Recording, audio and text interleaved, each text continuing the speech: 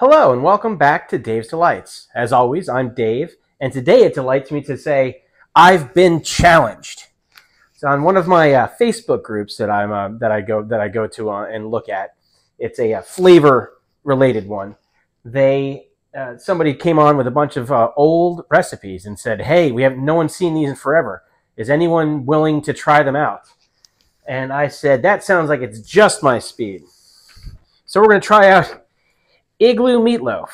Now, this picture showed up on the cover of Family Circle in 1967, showing what was considered at the time to be a pretty balanced dinner of meatloaf, igloo style, green bean casserole, some kind of jello mold, and glasses of milk, which I assume were White Russians pretty much as soon as that photo shoot was done. But either which way, it's uh, it doesn't look like a bad recipe.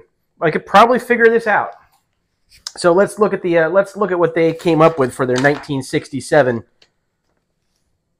list of ingredients. Evaporated milk, instant onions, potato buds. We can do better than this, and we will. So, we're going to have to come up with my own version of this recipe, which I'm going to show you presently. Stay tuned. So we're going to have to break this down into a couple of different sections because we're actually doing a couple of different uh, cooking processes while we're, while we're at this. First off is meat the potatoes. Now, if you like instant potatoes and you want to use instant potatoes, because that'll definitely save you a bunch of time, uh, that's up to you. And there, for people who like them, there's nothing wrong with them. But personally, I don't really like mashed potatoes all that much at all. I'd rather have it as a baked potato. But if I'm going to have them, I'd rather have them be real. And my wife um, if, if I made instant potatoes, we would learn what color they go well with on the wall. So for me, my house is not an option. We're going with, we're going with real potatoes. So what we got to do, and I've got eight potatoes, well, I think I might actually have 10 potatoes here, but I got a bunch of potatoes. We're going to peel and cube all these and get them into a pot of salted, heavily salted water. Now, you can salt at many parts during this process, but my wife has told me, and she's a master at mashed potatoes, that if the, you can always tell when I don't salt the water enough. So I take, you know, like a handful of salt and get it of kosher salt and get it into the pot while I'm filling it. You want to fill the pot, however big your pot is, about halfway, because we're going to peel as we go and do them one potato at a time because these things turn black and oxidize really quickly just sitting on the counter once they've been peeled. So you want to get them diced up and into the water pot as soon as you can so that way they'll stay their normal color. So I'm going to cut over to the uh, uh, to the cutting board workstation, and I'll get most of them done, and then I'll show you what I'm talking about on the next on the next little step here. So I will see you in just a blink of an eye over there. All right, so this is a peeled potato. Obviously, you guys know how to peel a potato, and we're going to cut it. Remember, wash your hands. We're going to cut it into four pieces, and then I'm going to quarter these as well which will give me individual pieces about that big. And I'm going to put them in my pot of salted water that's off to the right here. And as soon as they're all in, I'm going to bring this to the boil. And as soon as it's on boil, I'm going to bring it down to simmer. And I'm going to simmer them until I can place my knife right through the potatoes. I want to have no resistance as I go in. And at that point, we drain the water. We move on to the next step. So I'm going to get this on the uh, on the fire. And I will see you guys back as soon as these potatoes have done their job. See you soon. So, now while the potatoes are boiling, we can start putting together the meatloaf part of our meatloaf. Uh, what we got is two pounds of ground meat. Now you can just use beef, but my butcher makes a meatloaf mix, which is which is three parts. You know, one part pork, one part beef, and one part veal and I really found that it's uh, it gives a really good flavor. So that's what I go with. But you can pick whatever you like. Uh, if you want it to all be turkey, it can be that too. But whatever meat you're planning on having the meatloaf, have two pounds of it ground. And a bowl. And the meat's going to go into the bowl. Now, I hope you have washed your hands because this is going to be a very handsy job once we get going. We have a half a cup of breadcrumbs. Now I chose Italian but you could use plain. But this will add some more seasoning to my uh, to my to my meal. So that's why I went with Italian breadcrumbs. But you can pick any type you like. In they go, and two teaspoons of salt goes in. Half a teaspoon of pepper goes in. A teaspoon of ground rosemary. Now, you can get this at the store, but if for whatever reason in your spice rack at the store they don't have it, you can take regular dried rosemary and just grind it up a little bit, you know, mortar and pestle or however you want to break it down. And then that goes in. We have a quarter cup of pretty finely diced yellow onion or white onion, your choice. That goes in there. Now, personally, I used to like putting a lot of uh, green pepper in as well, but I found that a lot of my guests didn't care that much for it, so I stopped. Now I need eggs. Now I think two eggs would be too much here. So I'm going to use an egg and a half. So a full egg, that goes in. And for a half egg, I got my girls' eggs. Uh, they've only been laying for about eight days. So I have, the right now they're all still these little fairy eggs. But that's going to work pretty well as a half an egg. In it goes. Oh, so fresh. It's always nice getting stuff out of your own produce.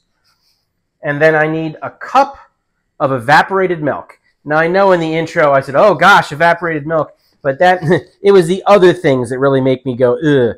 Evaporated milk is good for cooking and baking, so there's nothing wrong with that. And when I looked at my my can of evaporated milk today, literally today is the day of the ex, uh, where it says Best By. So might as well use it anyway. Here's a cup of that going in. And depending on how this looks when we mix it up, I might add a little bit more, maybe at most a third a cup more. But I think with all those breadcrumbs, this is going to be plenty. So now, gross part of the day, but we're going to get our hands in there and we'll mix this up real good.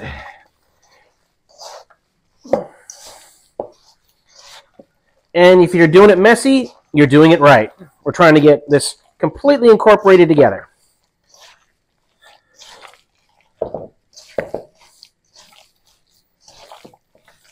And it is every bit as gross as you think it is. But this is what's going to make the best looking meatloaf. And as you can see, that is now incorporated. And we're gonna I'm gonna chill this in the refrigerator for about 20 minutes just to let the flavors come together, and then I'm gonna come back to the next step. But I gotta get this off my hands. So I'll see you shortly. Okay, we've gotten the meat out of the refrigerator and it has stiffened up nicely and the uh, all the flavors will have kind of mixed together a little bit better. So this is now ready to make into a form. Now, if you notice, the igloo idea is a big kind of tall round shape. So my meatloaf pan isn't going to cut it. But I do have this metal mixing bowl. That's a pretty good size. If you look at it, that's going to be about right. So I've greased the inside of this and I want to make a little reservoir at the top there, uh, which I'll explain why later. But I've got my little, uh, you know, one of these measuring cups that I use, or a sauce, you know, like dipping bowl. And I'm going to take some spray and spray that so it'll release a little bit easier. And I'm going to take my meat, and again, gross hands, and we're going to pack that down into here, carefully trying to keep that reservoir in the middle.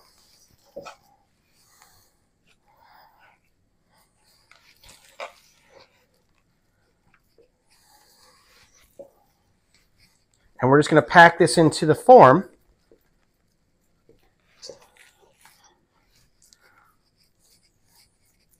It's going to take the whole two pounds, it looks like, which is nice. And it's actually almost exactly right.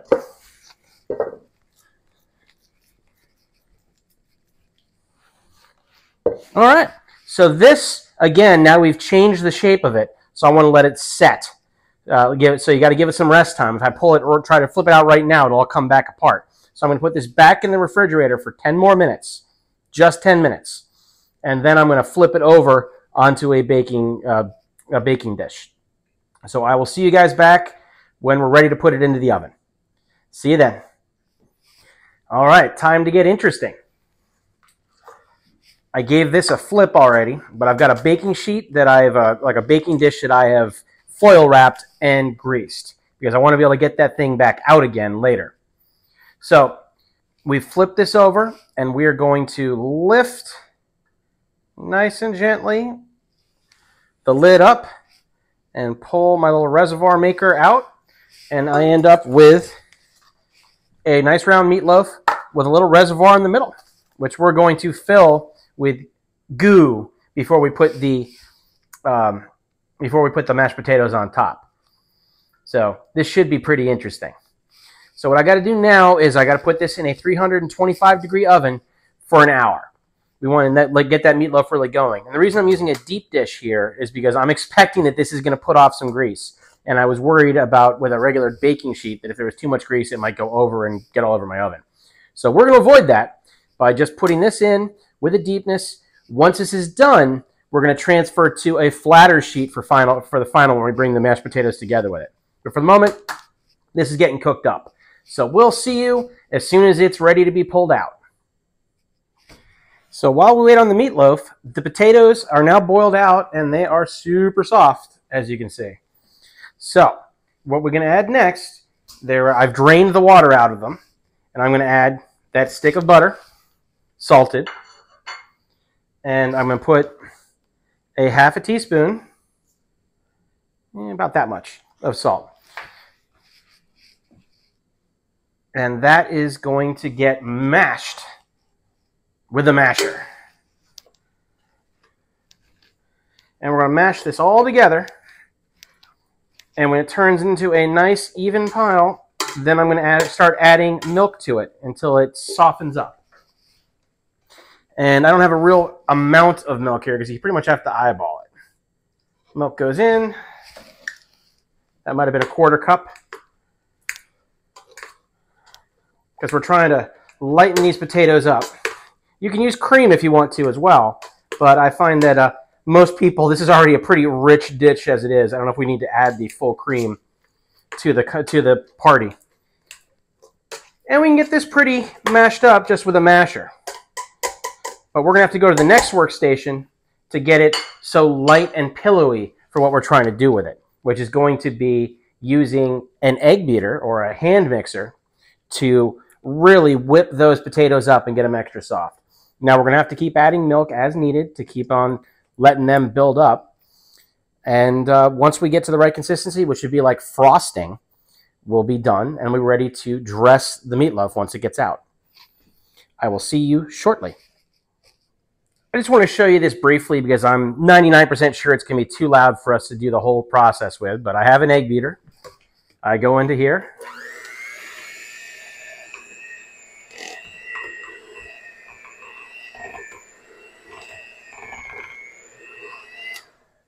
And look how quickly that's whipping up.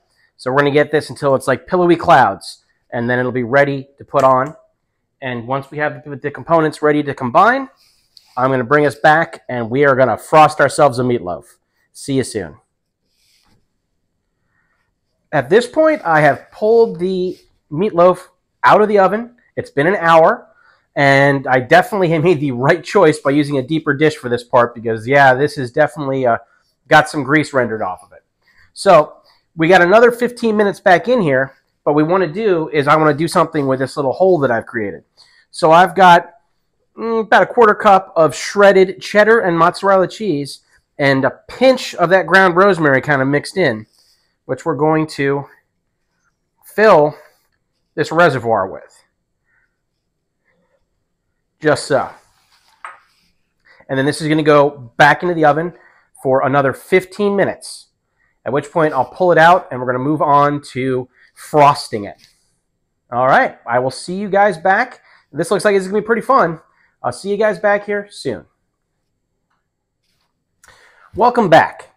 You can call me chicken if you like, but I decided to do the transfer from the one tray to the other for the meatloaf off camera. So that way if the floor got a meatloaf, at least we wouldn't all see it. But anyway, I now have this meatloaf is nice and crispy and it's cooked most of the way through, if not all the way through already. Now we need to frost it. So we've got our mashed potatoes. And this is going to be interesting. And now that I'm as I'm looking at this, I'm thinking, you know, what would be really nice to have, and wash your hands, would be a frosting knife, which I don't own, so wishes and horses. But we're just going to keep on frosting these mashed potatoes on. And it's going to take a little time to make it pretty.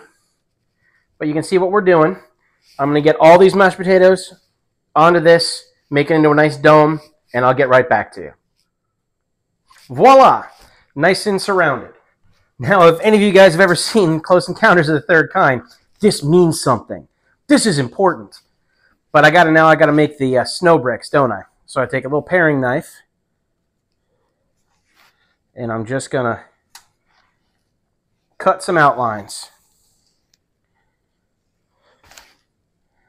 And we're not going to go nuts with it. This does this is for looks only. It doesn't have to go all the way through.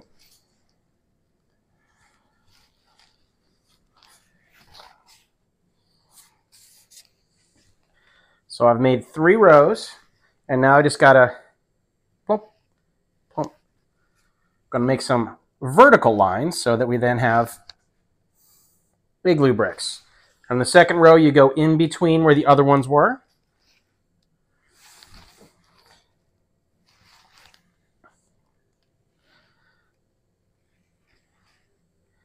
And on the bottom row, same thing again. Halfway in between. and you get the picture. Now, if you look at this original picture, it has cheese on the top. And I assure you that that was meant to be one of those not actually cheese, oil, uh, you know, oil-based uh, cheese product slices. But uh, we don't keep those in this house. So I have two slices of mild cheddar, which are going to go on top. Just so, in like a little star pattern as you can see. And then that's going to melt as it goes back in the oven here. And we're going to give this 15 more minutes in the oven to let everything get warmed back up, basically, and let this cheese melt down. And we'll come back and we'll see how it all came out. So far, this is looking like a pretty feasible recipe. I'll see you guys in a little bit. 15 minutes has elapsed, and the uh, final results are out of the oven here. Now, this actually came out looking pretty good. I'm happy with this.